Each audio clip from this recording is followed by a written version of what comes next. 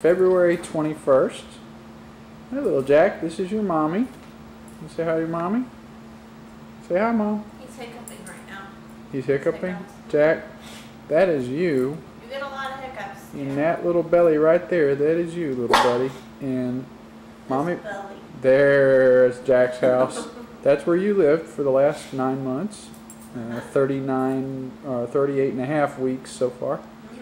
And that is your mommy. And right over there, and you just missed him.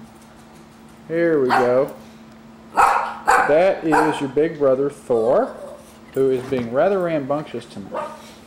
And your mommy, just today, Thor, that's enough. Can I?